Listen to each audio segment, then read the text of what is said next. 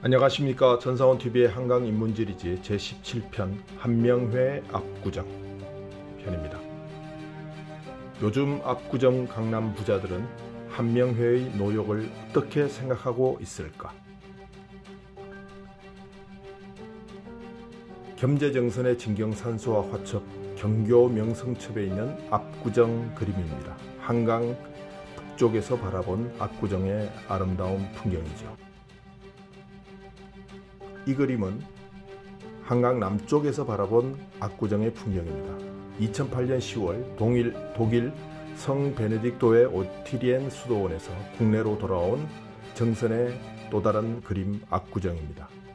화로운 압구정의 모습, 한강과 중랑청의 풍경, 북한산, 도봉산, 수락산, 불암산 등 서울을 둘러싸고 있는 아름다운 산들의 모습이 보입니다. 수양대군을 세조로 등극시킨 1등 공신 한명회의 권세는 하늘, 하늘을 찔렀습니다.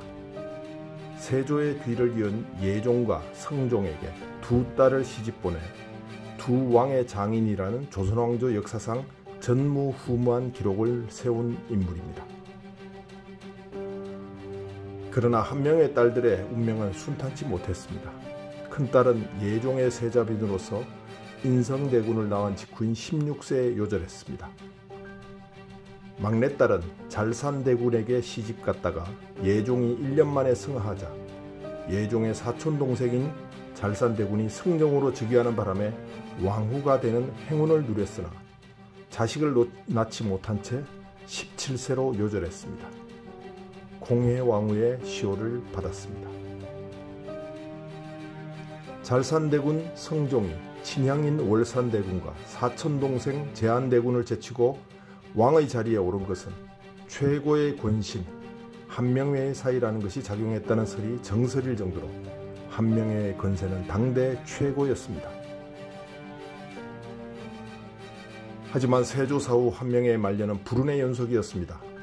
그는 두 딸을 허무하게 이르며 외척으로서 권력을 향유하는 것이 어려워지자 한시 가문을 조선 제1명문가로 이어가겠다는 야심찬 포부로 전재산 국가 헌납이라는 승부수를 띄우기까지 했습니다. 전재산을 국가에 헌납한 한 명에는 성종 7년 한강변에 정자를 하나 짓고 자연과 벗하며 여생을 보내겠다고 선언했습니다. 자신의 호인 압구를 딴 압구정이라는 정자를 한강변에 지었습니다. 압구정은 갈매기와 친하게 지내는 정자란 뜻입니다.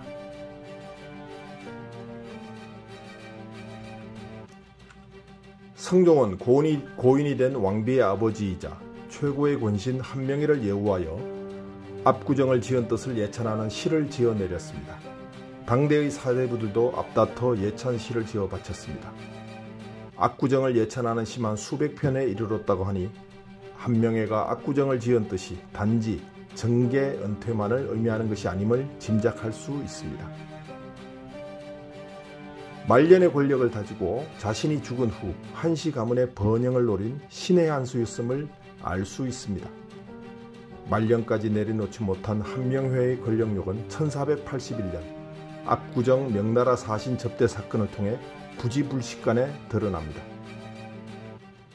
명나라 사신이 압구정의 명성을 알고 방문하고자 했는데 정자가 좁아 잔치를 열 수 없으니 왕이 사용하는 차이를 보내달라고 성정에, 성종에게 청했습니다. 이에 성종은 대노하여 옛 장인을 꾸짖었고 그 일을 계기로 한명회는 일체의 공직에서 사실상 쫓겨나 쓸쓸하게 말년을 보내다가 사망했습니다.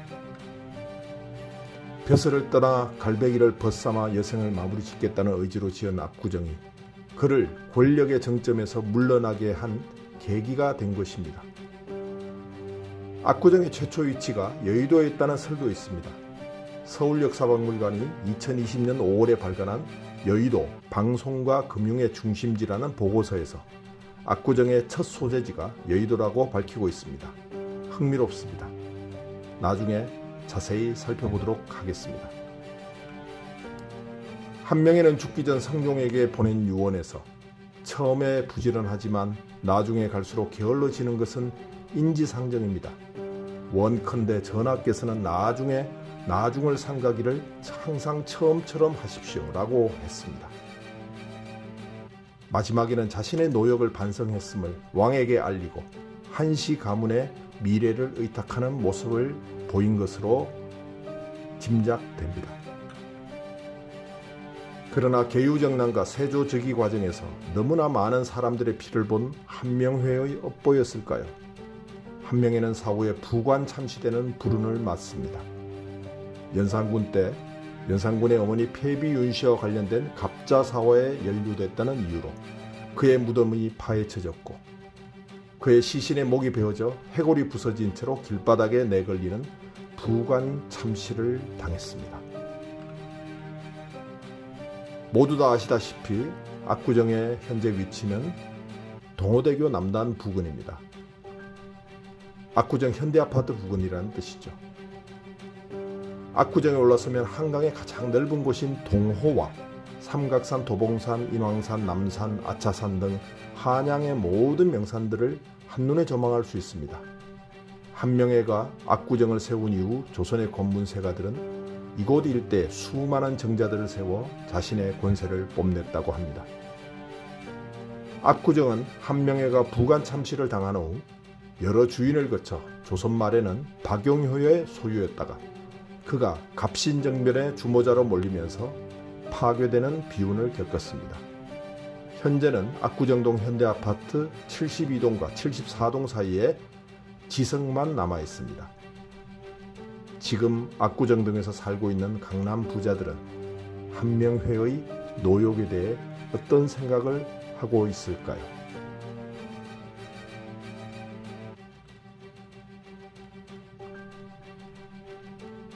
강북 옥수역 인근에 있는 달마지봉 공원에서 바라본 한강 너머 압구정동 현대아파트의 풍경 사진입니다.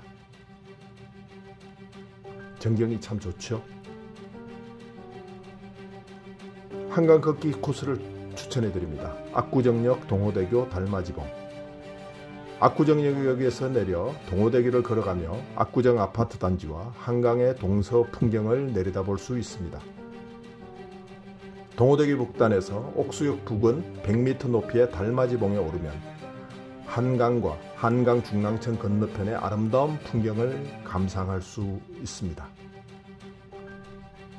고맙습니다.